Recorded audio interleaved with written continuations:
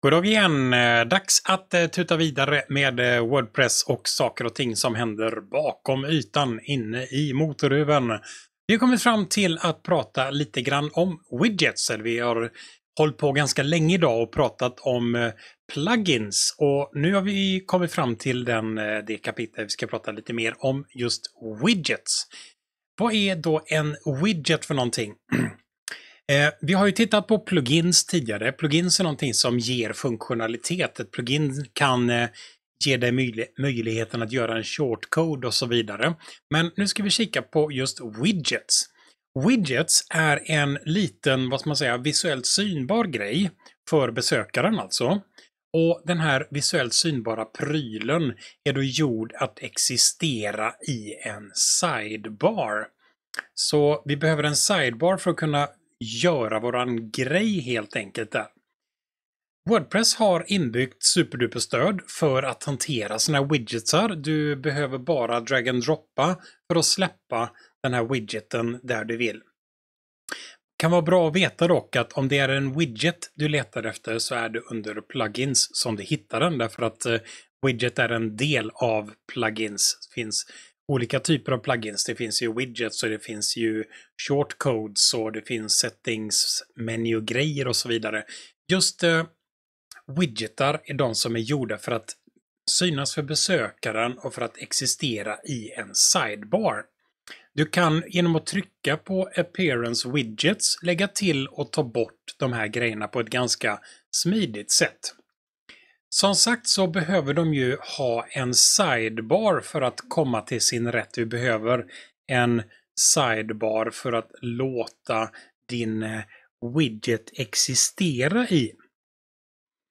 I temat, om du vill ge stöd för sidebars och eh, sidebar har ett, till att börja med, lite dåligt namn om du frågar mig. Sidebar låter som någonting som finns på en sida av någonting. Och eh, mycket möjligt så var det det som var tanken en gång i världen att det skulle vara just i en sida. Men en sidebar behöver absolut inte finnas på en sida av någonting. De flesta teman har sidebars flera stycken och då kan man ha en sidebar på en sida. Du kan ha sidebars uppe i headen, du kan ha en drös sidebars nere i foten. Du kan placera dina sidebars precis var du vill. Det finns inga gränser. Där du har skrivit att du vill ha en sidebar, det där sidebaren kommer att existera så att säga. Så sidebar, till att börja med, ett ganska dåligt namn faktiskt, därför att det behöver inte vara på en sida som det här ska finnas. I alla fall, i temat så har du en funktion som heter Functions POP. I den här Functions POP, där registrerar du vilken eller vilka sidebars som det ska finnas. Du säger att eh, din sidebar ska ha ett namn. I det här fallet så säger vi namnet är Sidebar Widget Area. Du kan om du vill koppla det här till ett visst tema. Det måste du inte. Men det här namnet är bra därför att det här namnet är det namn som du sedan i, i eh, Appearance Widgets ser som namnet på ditt tema. Har du säg tre stycken olika sidebar-ytor på ditt tema så får du ha då tre olika name som du ger de här eh, sidebaren helt enkelt. Okej, okay, vi ger den ett namn, vi ger den ett ID. Before After Widget. Ja, eh, widgeten kommer ju att presenteras i en sidebar. Du vill antagligen ha lite koll på HTML-kod som ska skjutas ut före widgeten kommer och efter widgeten kommer. Exempelvis här så har jag bakat in hela widgeten i en list-item. Så det är ett jättesmidigt sätt faktiskt att ha. För du kanske har en 5-6 stycken widgets på din sida. Då är det mycket lämpligt att baka in de här widgetsen i en LI. Eller du kan ta en div eller vad du vill. Eh, någonting som skjuts in i alla fall före widgeten kommer och efter widgeten kommer. Det kan man göra. Du kan dessutom skjuta in saker som ska komma före och efter titeln i din widget. Så om du har en widget som heter eh, korv så kommer den här H3 class är lika med widget title och skjutas in före korv. och slash H3 kommer att skjutas in efter korv. Så det här är sakerna du kan säga när du registrerar en sidebar och eh, du vill antagligen ha några stycken sidebar-ytor på en webbsida. Eh, om du inte har något i din sidebar-yta så måste du inte, men det är ett bra sätt att låta användaren kunna placera prylar i temat. Sådär, hur ska då header-delen på en widget se ut? För widget-delens header, eller en header till en widget, den, eh, den ser ut på precis samma sätt som eh, header-delen på vilket plugin som helst, så det behöver vi inte säga så mycket om faktiskt. Ett exempel på hur widget-delen ser ut här. Nu kommer vi till själva widgeten, det vill säga det som kommer under den här header-delen. I en widget så måste vi ha en klass. Så allting som finns inom widgeten finns i en klass. Och Det här blir objektorienterat och det här är ingen kurs i objektorienterad programmering så det här är inte någonting som ni egentligen måste liksom, man säga, helt förstå vad som händer bakom ytan. Eh, förstå bara det att ni måste skriva så här, annars blir det fel. Annars funkar det inte. Okej, okay, så våran widget ska finnas i en klass och den här klassen som i det här fallet heter klass, klass heter Krille Widget Hello. Det är namnet som jag har gett på den här klassen. Nästa sak är jätteviktig att ha med också. Extends. Ordet extends berättar att den här klassen ska ärva och få egenskaper och saker och ting som finns i en annan klass. Eh, nu ska vi som sagt inte prata objektorientering, men jag har gjort en klass här som heter Krille Widget Hello. Den här klassen, Krille Widget Hello, den extendar en klass som heter VP Widget. VP-widgeten är en klass i sig och VP-widgeten är en klass som är, vad ska man säga, urmoden till alla widgets i världen. Liksom. Den har alla funktioner och den vet om saker och ting som har med just widgets att göra. För att våran lilla widget, för att lilla Krille Widget Hello ska kunna användas och funka precis som alla andra widgets på jorden så behöver vi extenda klassen VP Widget. Så, det var första raden det. Några kvar. Vi har en eh, funktion som måste vara public. Det vill säga den ska kunna nås utanför klassen Krille Widget Hello. Eh, om vi tar de andra funktionerna som vi har, Widget och Update och Form och de här. De är privata. Det betyder att det är bara möjligt att komma åt de medlemmarna inifrån klassen Krille Widget Hello. Just eh, den första här, den är public för att eh, det är den så kallade konstruktorn. När jag skapar en, och nu vet jag att det blir konstiga ord där. När jag skapar en instans, alltså en stycken av den här klassen Krille Widget Hello, då kommer automatiskt en funktion som heter understreck understreck construct att köras. Det är det första som händer. Och eh, den här klassen construct den använder jag för att initiera saker och sådär sätta grundvärden som jag vill ha och så vidare. Den funktionen behöver vi ha. Nästa funktion som vi behöver ha heter widget. Funktionen widget, den är den som är ansvarig för att rita upp det som kommer att synas på skärmen. Det är det den funktionen gör. Namnen här har jag inte dragit ur hatten heller. Som ni ser så har jag ingen hatt ens. Eh, de här namnen är de namnen som det måste vara därför att klassen VP Widget förutsätter att du har exempelvis en funktion som heter just widget och den funktionen är den som är ansvarig för att skicka ut saker på skärm som, som man ska kunna titta på. Besökaren kunna titta på. Okej, nästa funktion, update.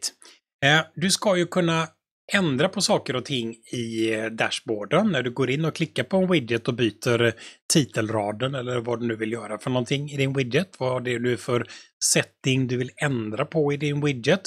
Då är det funktionen update som tar hand om den här förändringen.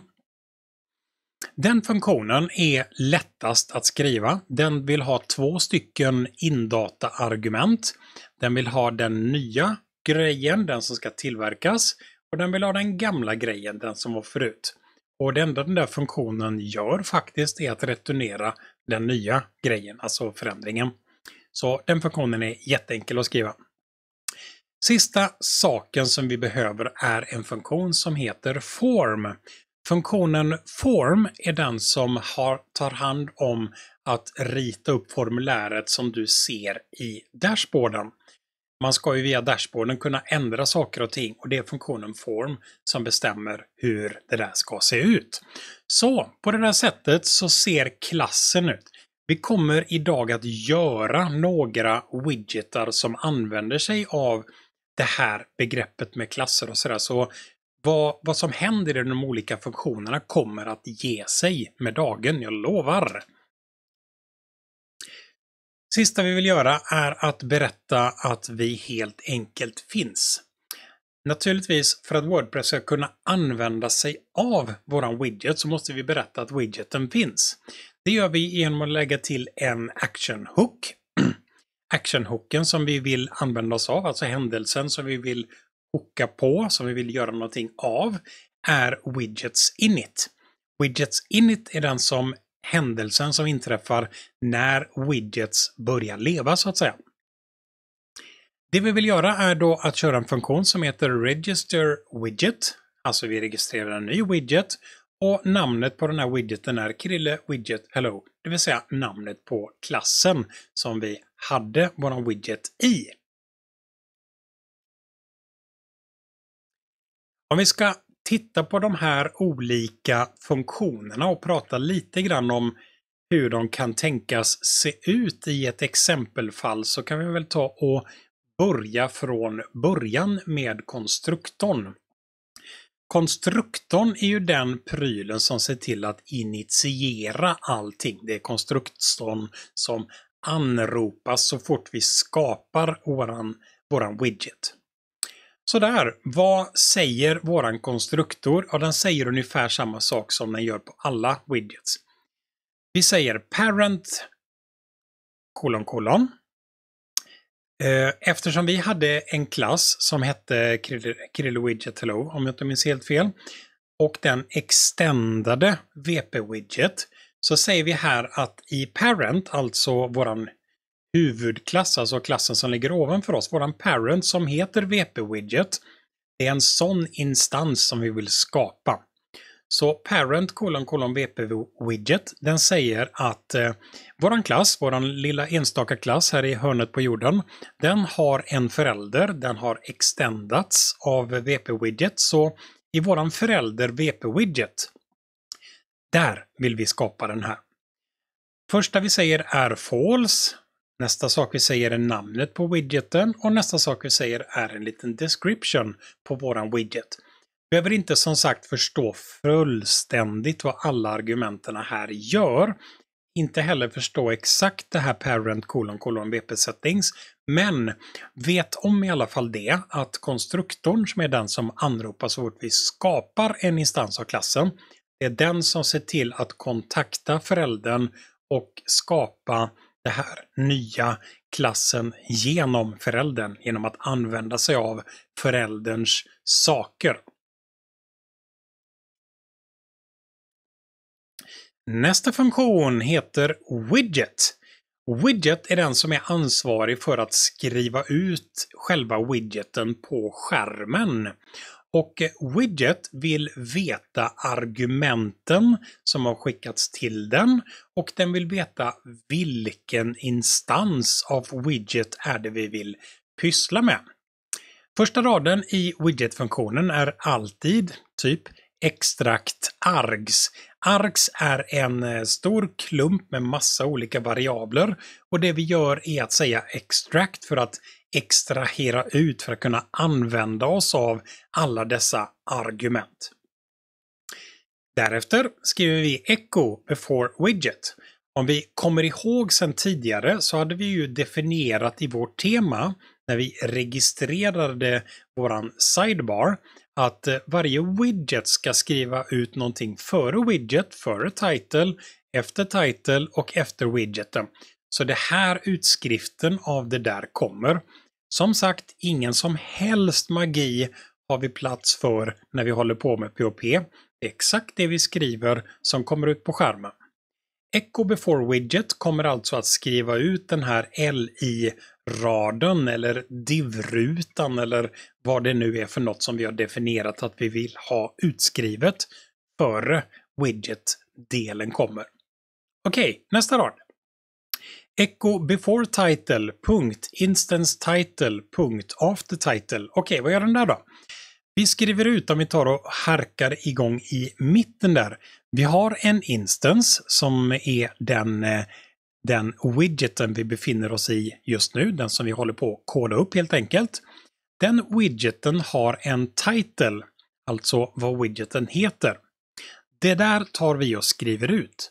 Men vi är vänliga nog att skriva ut det där before title och after title efter och före också. Så att vi kan få ut, jag tror att jag skrev H4-taggen, det brukar jag ofta göra. H4 var det som vi skrev ut before title och slash H4 efter title. Sådär, nästa rad.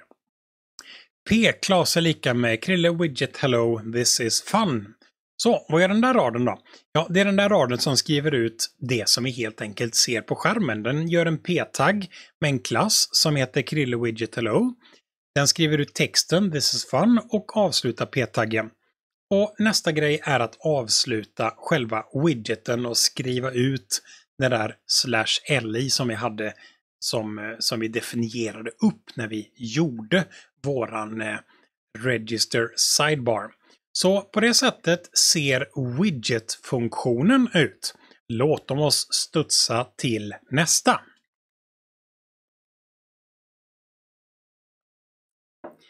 Vi har här eh, framför oss funktionen Update. Update-funktionen, det tror jag jag förvarnade om att det var den lättaste av dem allihopa att göra och vi ser varför framför oss här. Update-funktionen vill veta två saker. Den vill veta den nya instansen, det vill säga vad är det som har hänt efter du har skrivit in din nya titel eller vad det nu må vara. Och Old Instance, det vill säga vad var det som kom in, vad var det gamla värdena vi hade. Och det enda funktionen gör är att säga Return New Instance. Alltså när vi har gjort några ändringar och skrivit in en ny titel exempelvis på våran widget eller en ny plats vi ska hämta vädret ifrån eller vad det nu kan vara för någonting. Så säger vi Return New Instance. Alltså spara undan helt enkelt den här widgeten. På det extremt krångliga sättet skriver vi funktionen Update. Så, vi kommer till den sista och den absolut grötigaste av dem. Nämligen funktionen Form. Form är den funktion som berättar hur ser det ut på skärm i dashboarden. När vi går in i dashboarden så vill vi ju där kunna sätta saker och ting. Vi vill kunna byta titel eller byta stad som den ska hämta väder ifrån. Eller säga att det är den här RSS-strömmen du vill hämta data ifrån. Eller vad det nu må vara. Det som sagt det ska skrivas ut i formuläret i dashboarden. Och eh, utskriften av de där formulärgrejerna i dashboarden, det fixar vi till i funktionen Form. Så, vad gör funktionen Form då? Den börjar med att ta in en instance som indata till funktionen form och eh, instance är ju den, eh, det formuläret som vi har, alltså den, den, eh, den widgeten som vi grejer med. Nästa rad. Title är lika med Escape Attributes Instance Title. Det finns i våran instance, alltså våran widget, så finns det en titel. Eh, vi skulle kunna spara undan den här instance title rakt in i variabeln title om vi hade velat. Men låt oss nu säga som så att någon har skrivit in eh, fultecken som title. Lite skriptvariabler som eh, ser till att stöka till min nybäddade säng och andra läskiga saker som en JavaScript kan göra. Eller? Finns det JavaScript som kan bädda säng? Jag vet inte. Kan inte någon uppfinna det? Please! I alla fall, Escape attribute. se till att ta bort eventuella fultecken som kan finnas där.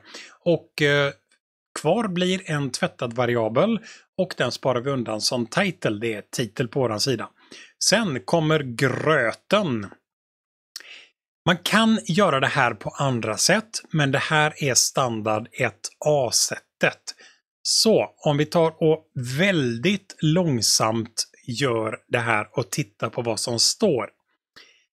Label for.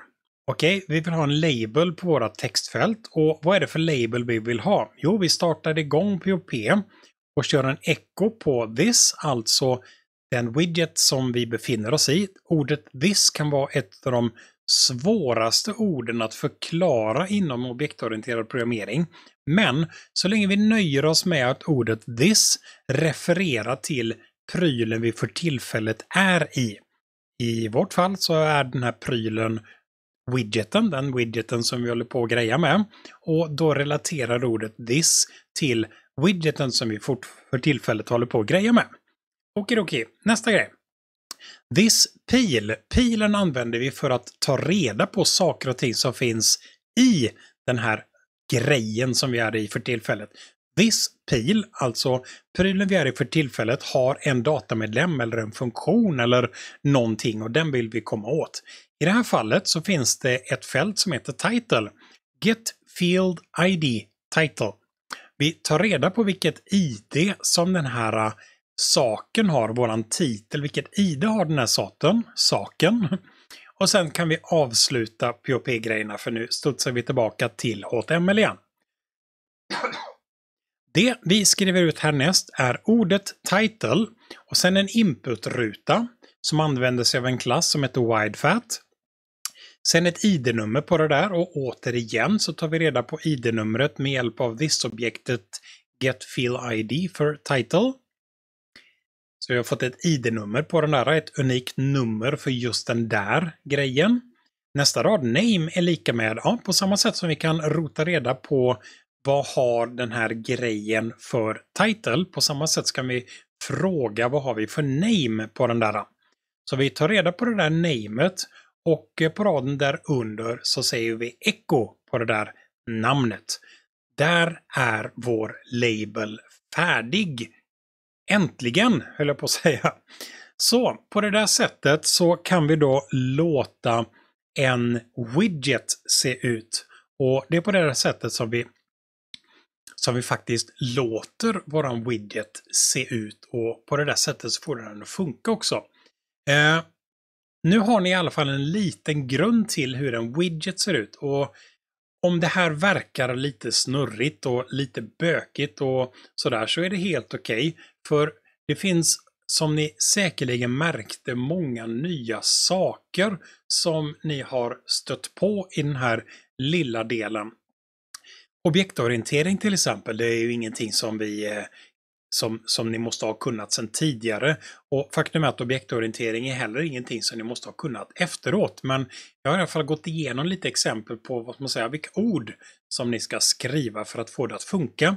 Och det börjar bli läge att köra lite exempel på hur vi kan göra en sån här widget också. Men eh, exempel, det tar vi om en liten stund. Än så länge Tack för mig så länge så ses vi om en liten stund. Hej då!